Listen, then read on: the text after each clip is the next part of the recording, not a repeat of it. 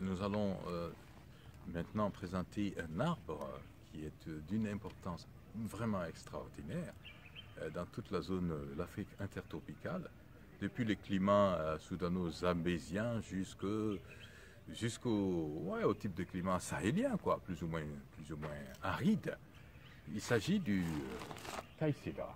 Hein. On voit là une sorte de plantation hein, tous ces pieds que vous voyez dont le nom scientifique est Kaya senegalensis, et euh, en anglais on dit mahogany, hein, ou dry zone mahogany.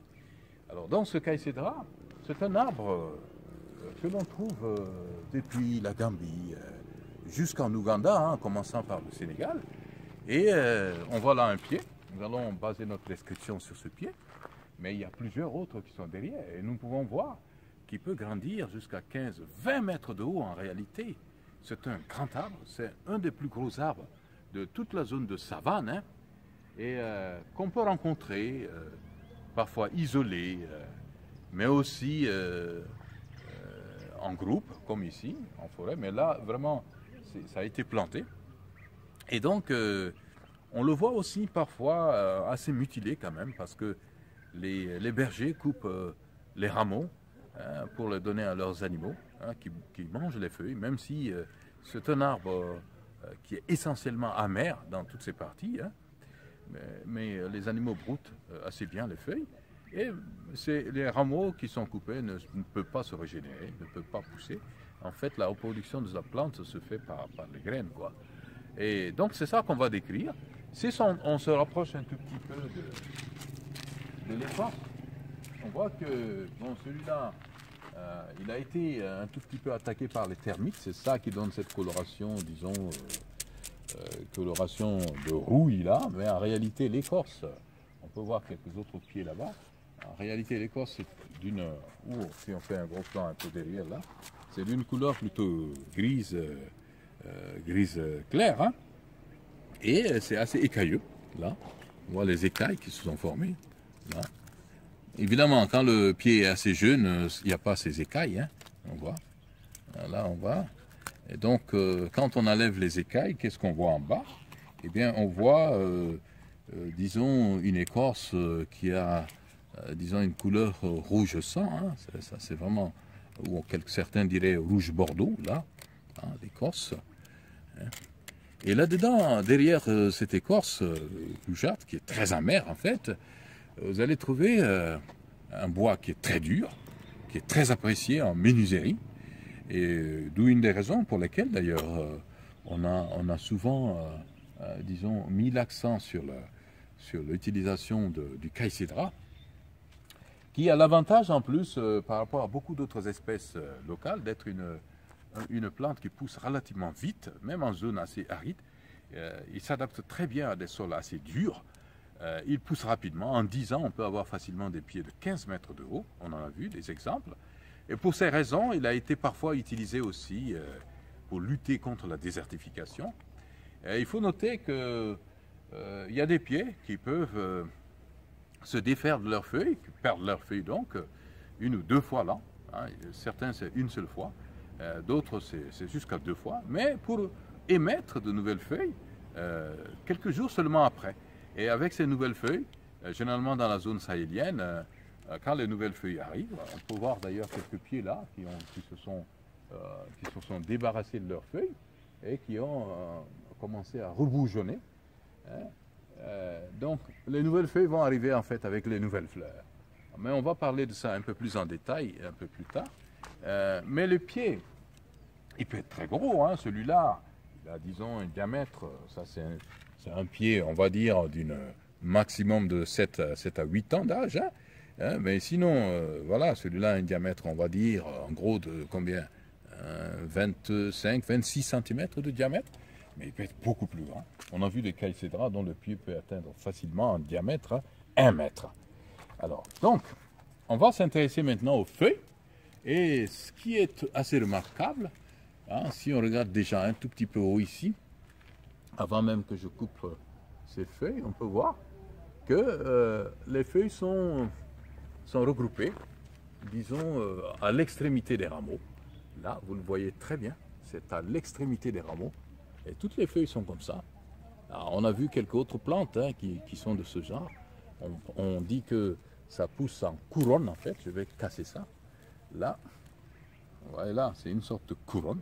Alors, cette cette disposition en couronne se voit surtout hein, quand les feuilles commencent à sortir nouvellement, hein, sur les rameaux. Euh, mais sinon, euh, si on regarde euh, une branche un peu ancienne, là par exemple, hein, disons une branche relativement jeune même, je dirais, qui pousse sur, une branche un peu plus âgée, on voit la disposition des pétioles des feuilles. Voilà les feuilles là, disposition est plutôt alternée. Voilà c'est une disposition alternée. Donc il y a les deux dispositions qu'on trouve, hein, soit en couronne, soit alternée. Alors, euh, les feuilles, euh, comment sont leurs détails Eh bien, si on prend celui-là, hein, avant le, avant l'apparition euh, des premières, des paires de, folioles, hein, qu'est-ce qu'on voit On voit un long, long, long pétiole qui peut atteindre qui peut atteindre combien hein, Avant les premières folioles, hein, euh, là, jusqu'à 9, 9 cm, parfois 10 cm. Donc c'est de longs pétioles, très longs. Là, on a jusqu'à 12 cm. Et voilà. Et on peut remarquer que les feuilles sont, euh, disons, des feuilles composées, paripennées. Et là, les paires de folioles, on peut les compter. 1, 2, 3, 4, donc, euh, dans la littérature, on donne euh, de, 4 jusqu'à 7 paires de folioles. Hein. Donc, si on regarde les dimensions de la feuille composée, en prenant cette feuille euh, relativement bien développée, eh bien, qu'est-ce qu'on voit La longueur de raquis, hein, depuis la base, donc depuis l'attache de la, du pétiole hein, sur, le, rameau, jusqu'au point de départ, donc, des, on va dire, des, euh, des folioles, il y a jusqu'à 25 cm, 25 à 26 cm. Hein. le raquis euh, est, assez long. Alors, bien entendu, euh, pour les jeunes feuilles, ça va être beaucoup plus court. Maintenant, prenons une des paires de, folioles. On voit bien hein, les paires de folioles ici. Il y en a une, deux, trois, quatre, cinq ici aussi. Hein. Et donc, si on regarde, eh bien, on va voir quoi Une largeur pour la foliole bien développée de 4 cm ici sur euh, une longueur euh, de combien Jusqu'à 9. Hein, euh, si on prend à la base de, de, l'attache même sur le raquis, hein, c'est jusqu'à même à peu près 10 cm. Alors les pétiolules que vous voyez là, qui attachent donc les folioles au raquis, sont de l'ordre de combien 5, mm, un demi-centimètre. Alors quand on regarde un peu en détail, on voit qu'il y a une nervuration assez évanescente dans la sur la face supérieure, c'est-à-dire la face qui regarde vers le ciel, et au dos, c'est euh, un peu plus visible. La feuille est d'une couleur vert, on va dire vert clair, mais parfois on trouve des pieds avec une coloration beaucoup plus sombre, mais assez luisante. Hein. Ici, euh, les pieds ont été un peu salis, les feuilles ont été un peu salies par la poussière, mais ici on voit c'est un peu brillant. Ah, là, on peut tenter de compter là au dos euh, les paires de nervures secondaires. La nervure principale, elle est là, elle est visible. Donc si je compte ici, il y a une première, 2, 3, 4, 5, 6, 7, 8, 9, 10, 11, 12, 13, 14, 15, 16, 17, 18, 19. Il y a une vingtaine, on va dire, de nervures euh, secondaires. Alors donc, euh, voilà, donc quand la plante va continuer son développement, euh, surtout, nous avons dit, hein, à un moment donné, elle va perdre ses feuilles. Et dans la zone sahélienne, euh, les nouvelles feuilles vont apparaître juste quelques, quelques jours seulement après, et ça va venir avec euh, l'inflorescence. Donc, nous allons parler maintenant des fleurs. Hein. et on voit comment la fleur, elle apparaît en fait. Hein. Elle apparaît aussi, nous avons dit que les jeunes feuilles apparaissent souvent en zone sahélienne, période, disons, on va fin février, mars, avril. Mais il y a des pieds précoces, hein. il y a des pieds même qui peuvent produire deux fois là.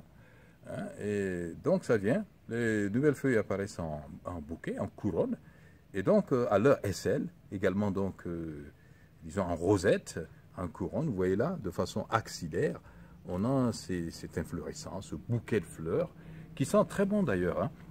Ça a une très bonne odeur, des petites fleurs blanches, qui sont disposées là par paquets, sur de courts pédoncules, de l'ordre de quelques centimètres, celui-là 1 centimètre. Donc euh, quand on regarde, il y a, euh, quand on regarde des, boutons qui se sont ouverts, on voit là, sur celui-là en particulier, on peut compter jusqu'à 1, 2, 3, 4, on va dire 4, euh, pétales.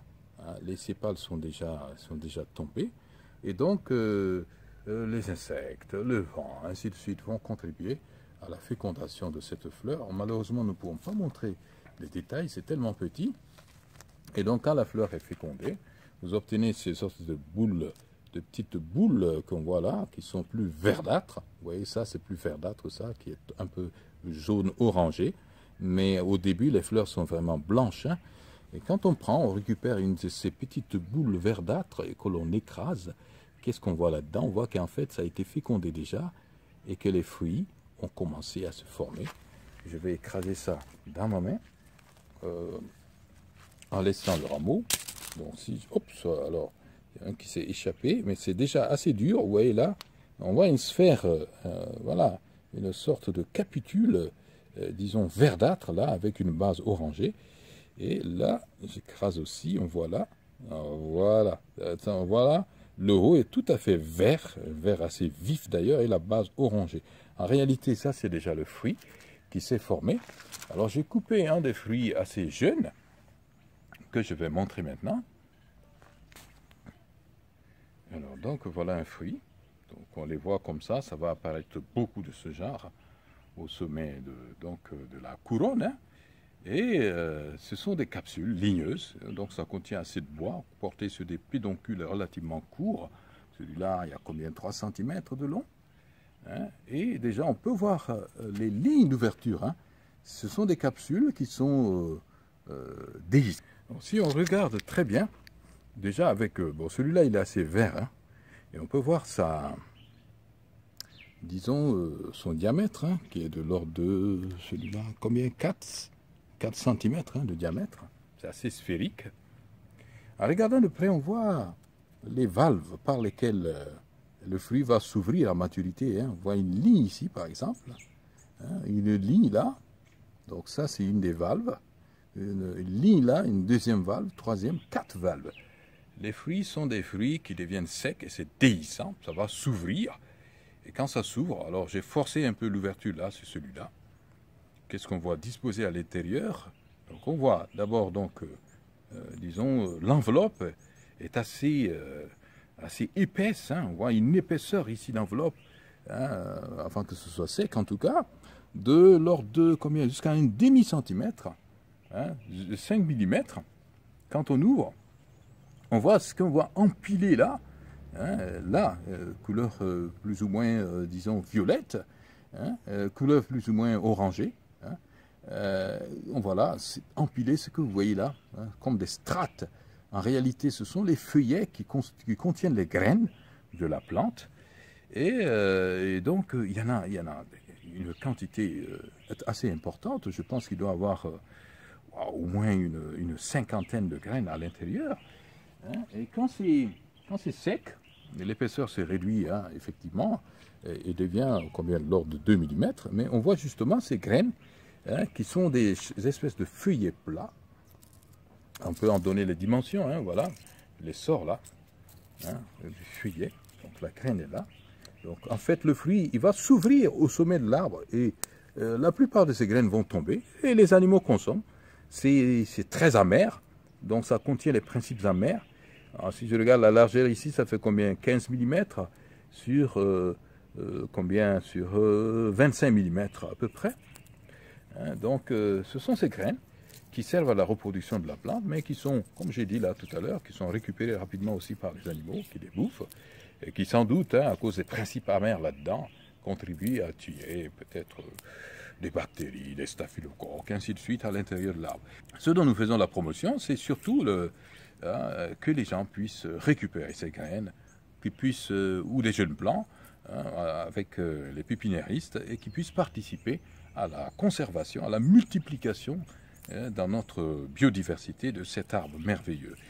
Alors donc, euh, c'est pas très lourd, hein, ces graines, c'est très fin.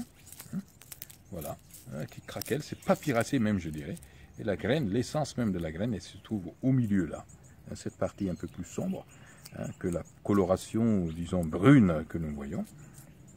Voilà, donc ça se présente comme ça.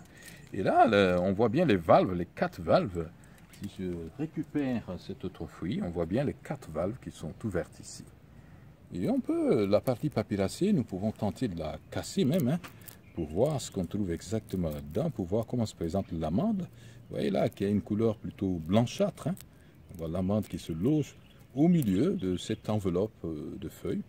Voilà, voilà, l'amande est, là. C'est plutôt euh, blanchâtre. Voilà. Donc, euh, je vais ouvrir celui-là aussi, on peut voir. Voilà, bon, cette amande s'est cassée.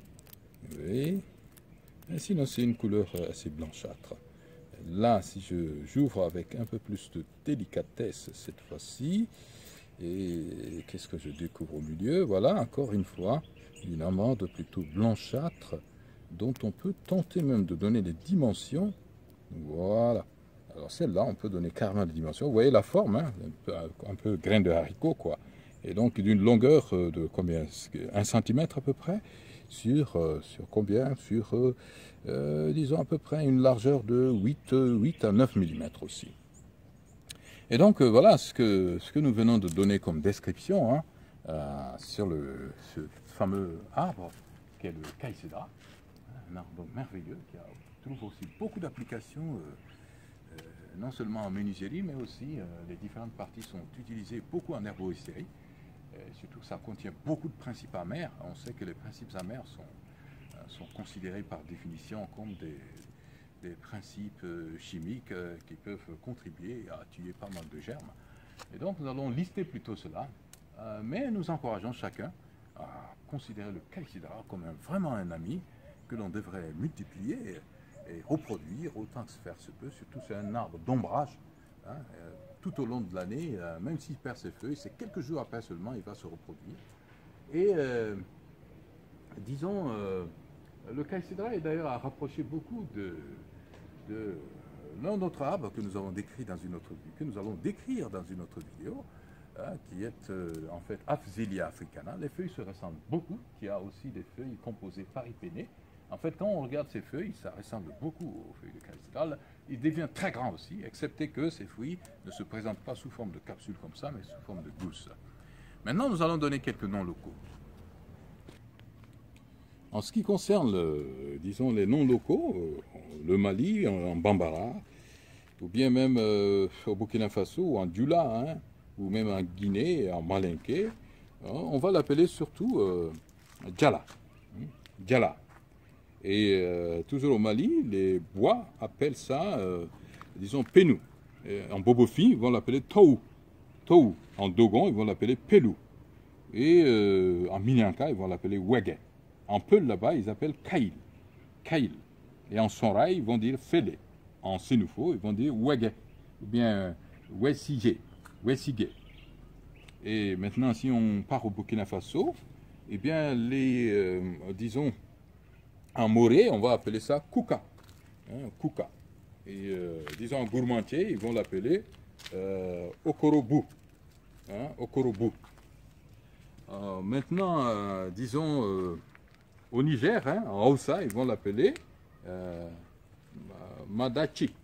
Et on peut là-bas aussi kail. En Zerma, ils vont l'appeler faré. Faré.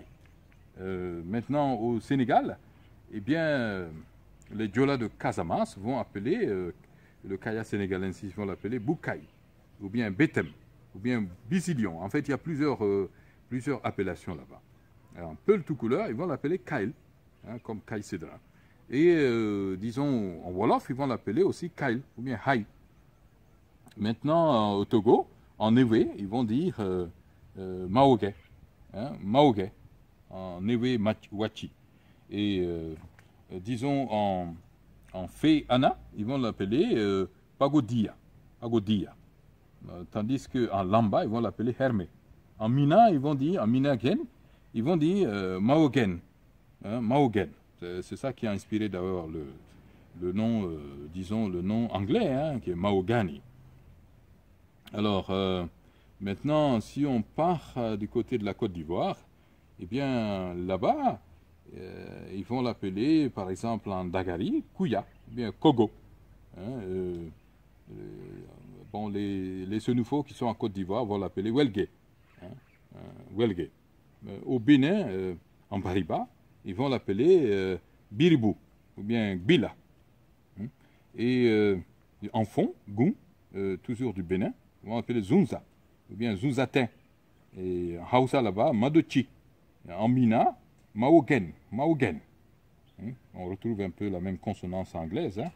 Et euh, donc euh, voilà, c'est, euh, disons, ces quelques noms locaux que nous avons trouvés pour Kaya Sénégal. C'est un arbre merveilleux qu'on trouve beaucoup dans notre environnement, mais il est bon que d'une façon ou d'une autre, nous puissions contribuer. Nous avons des champs, hein, si nous avons des domiciles, parce que les gens les placent aussi dans les domiciles pour l'ombrage.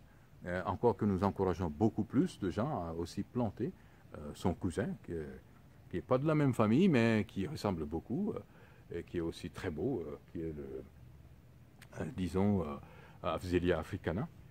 donc ceci devait suffire pour reconnaître le Kaya sénégalensis.